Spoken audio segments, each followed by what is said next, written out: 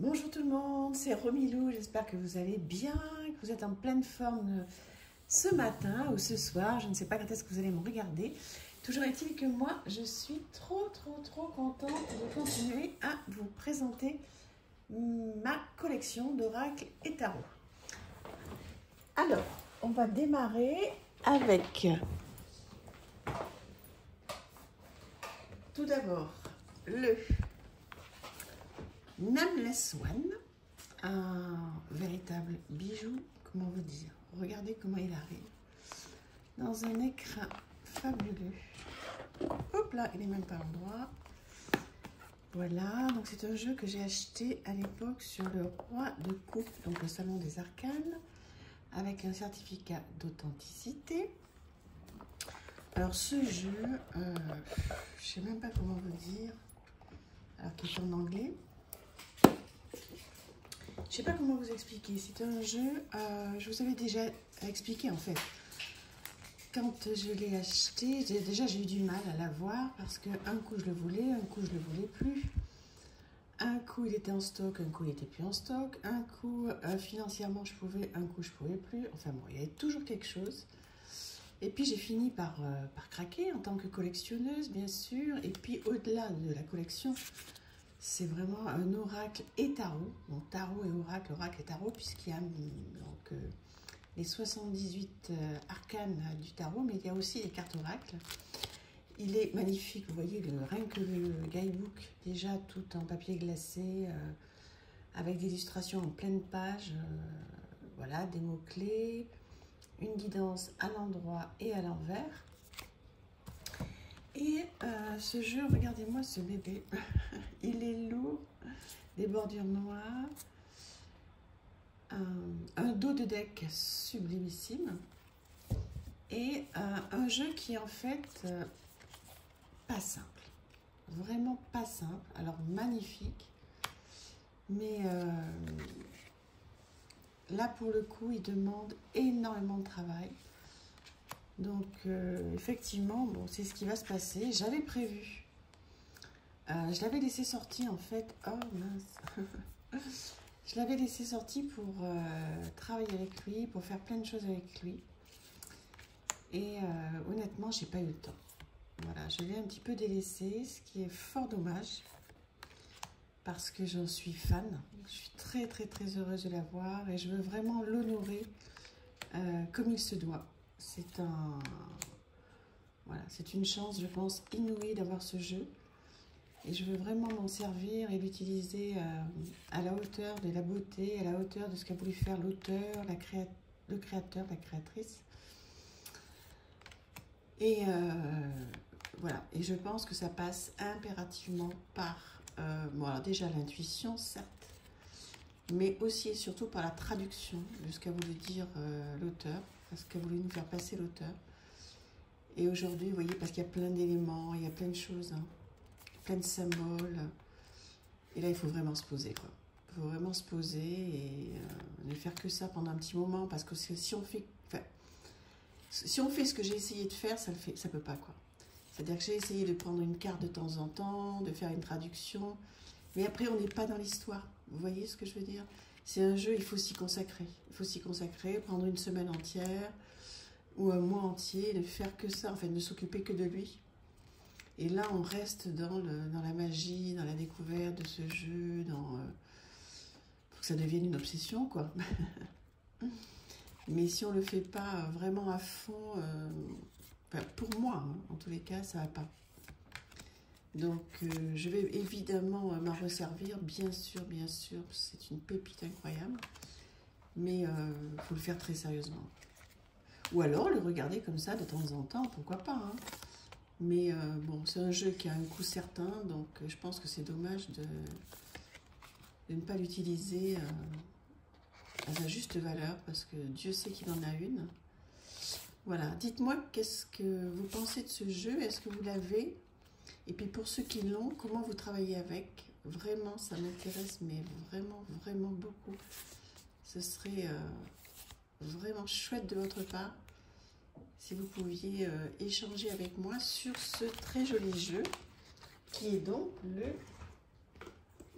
Nameless One Tarot and Oracle Deck.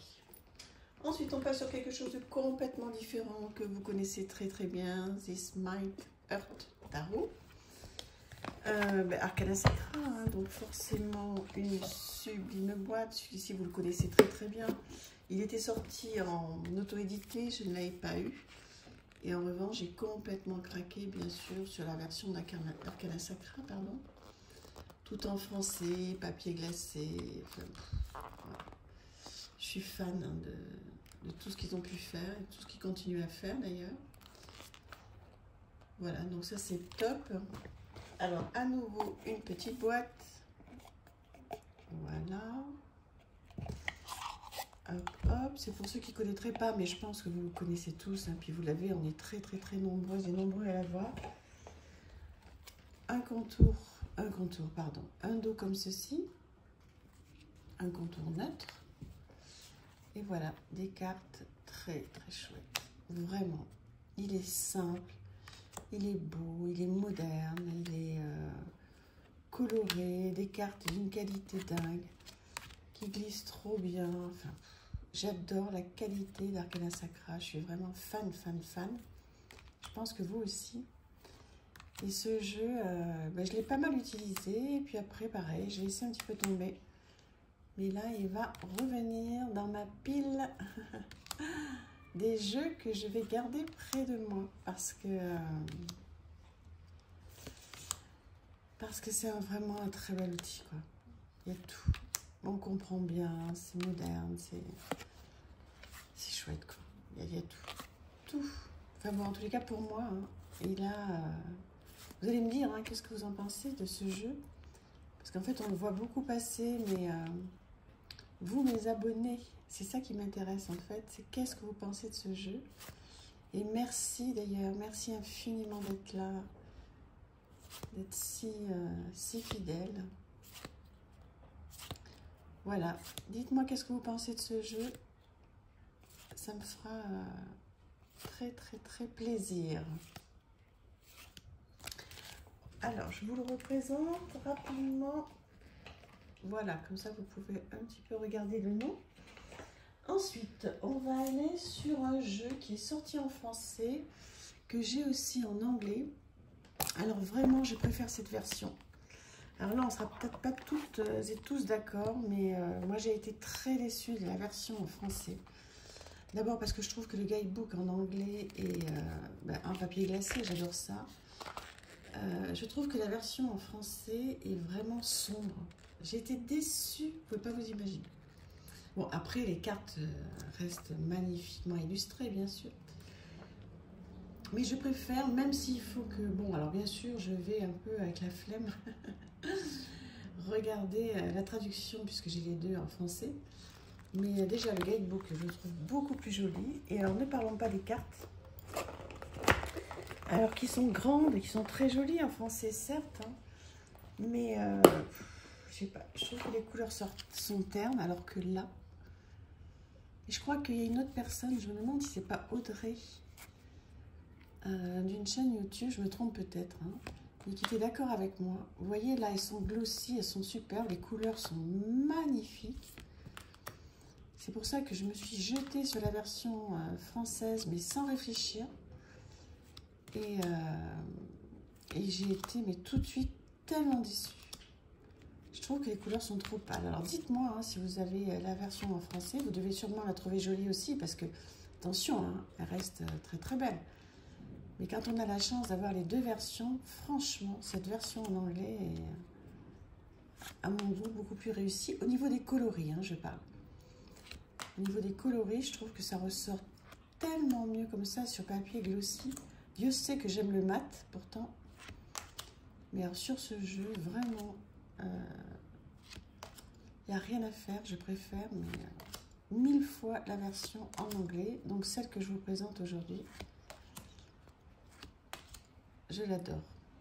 Je l'adore. Mais bon, ce jeu fait l'unanimité. Hein. Je pense qu'on est toutes euh, complètement amoureuses de ce magnifique jeu. Dites-moi quelle version vous avez, pour celles qui l'ont. Et, euh, Et comme ça, on peut discuter parce que tous les goûts et les couleurs sont de la nature. hein. donc, euh, moi, je peux complètement entendre que vous préfériez la version en français. Il n'y a pas de souci. Simplement, bon, ben voilà, je vous donne mon avis parce que c'est l'idée de cette vidéo. Voilà. Alors, c'est The Forest of Enchantment en anglais.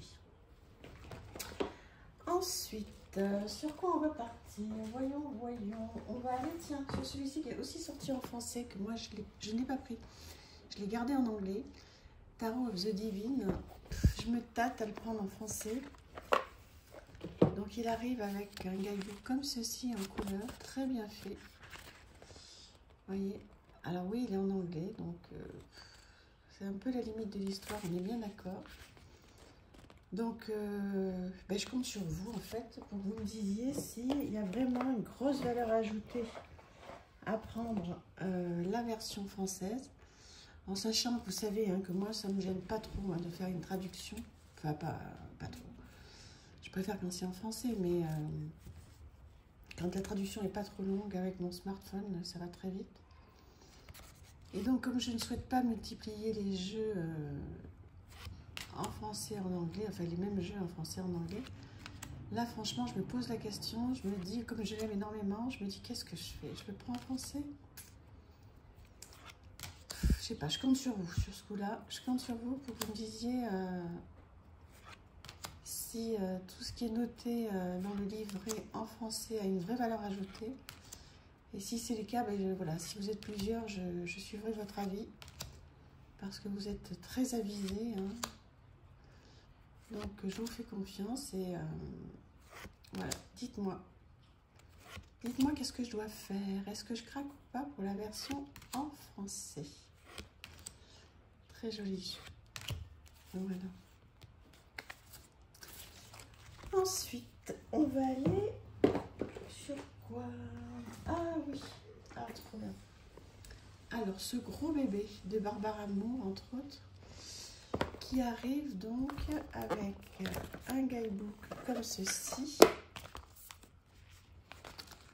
Voilà, alors en anglais, certes, hein, euh, la mignonnette en couleur. Voilà, très joli guidebook, papier glacé, j'adore. Vous allez dire que je fais une fixation avec le papier glacé, mais oui, complètement. Vous avez raison, je fais une fixation, j'adore l'odeur, le toucher, tout. Voilà, et donc je vous ai déjà euh, présenté la partie 2, parce qu'en fait, dans ce coffret, il y a deux parties. Il y a un volume 1 et un volume 2. Donc le volume... Alors attendez, celui-ci c'est lequel? Je crois que c'est le 1. Et ça, je crois que c'est le 2. Donc vous voyez, il arrive dans deux petits endroits comme ça. Oh, je sais plus. Donc je crois que ça c'est le 1. Bon, peu importe. Il y, a le... il y en a un que j'ai acheté en double. Et donc, dans ce gros coffret-là, je vous l'enlève pour pas que ça fasse le focus sur la boîte. Donc, vous avez deux jeux pour le prix d'un, en fait. Et voilà le style d'illustration que vous avez d'une part. C'est vraiment deux jeux qui sont complètement différents. Voilà. 10 d'air. hein. Donc voilà le premier paquet, le volume 1 en fait. Et c'est génial parce qu'on a, euh, a un jeu énorme, d'une qualité top, avec plein de choses à faire. J'avance un petit peu hein, pour que vous puissiez voir un petit peu tout le style de cartes. Ah voilà, ça c'est le volume 1. Donc c'est le volume 2 que j'ai acheté en double. Parce que, et voilà, ça y est, ça me revient. A un moment que je n'ai pas utilisé ce volume 1. Bon, que je trouve très joli, magnifique. Mais j'ai eu un gros, gros coup de cœur sur le, sur le volume 2, en fait.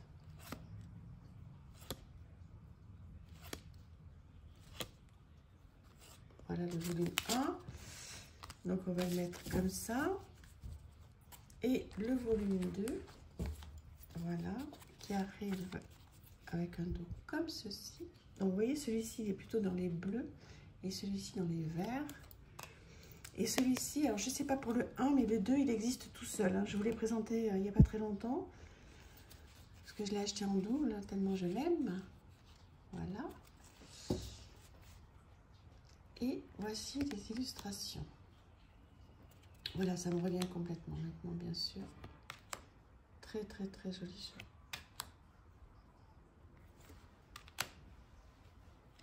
Voilà, donc je sais qu'il y en a plusieurs hein, qui ont ce coffret. En tous les cas, si vous ne l'avez pas et que vous avez envie de vous faire un cadeau sympa, vous pouvez le retrouver facilement. Regardez comme il est beau. À un prix euh, très correct parce que je pense que pour 40 euros, on a quand même deux jeux, quoi. D'une excellente qualité. Dans un très joli coffret, donc euh, c'est chouette. Beaucoup de chance, hein.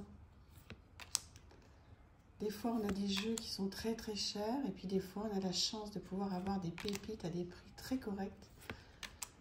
Donc, euh, moi, j'essaye de faire attention à ça maintenant, hein, d'acheter des jeux bon, qui me plaisent évidemment. Ça m'arrive d'avoir des gros gros coups de cœur euh, sur des jeux auto-édités, etc. Bien sûr, mais euh, j'ai essayé tant qu'à faire de regarder quand même ce qui se fait en mass market même si je tiens à soutenir impérativement hein, les jeunes créateurs, mais euh, voilà. Je trouve qu'on a la chance d'avoir des choses quand même maintenant euh, qui sont très chouettes, à des prix corrects, on va dire, même si les jeux ont beaucoup augmenté. Donc voilà, très très chouette jeu. Mmh. Dites-moi ce que vous en pensez. Est-ce que vous avez le coffret? Est-ce que vous avez que le volume 2, que le volume 1 ou aucun des deux? Voilà, c'est le volume 2, Sobelo. Ou est-ce qu'il est sur votre wishlist? Ou est-ce que vous ne l'aimez pas du tout? Ça peut, hein Voilà, vous me dites tout ça, on partage. Et puis, on continue à être ensemble comme ça chaque matin. Je vous embrasse très très fort. À très bientôt. Oups, pla. J'ai cogné la caméra. Je vous embrasse. Merci. Au revoir.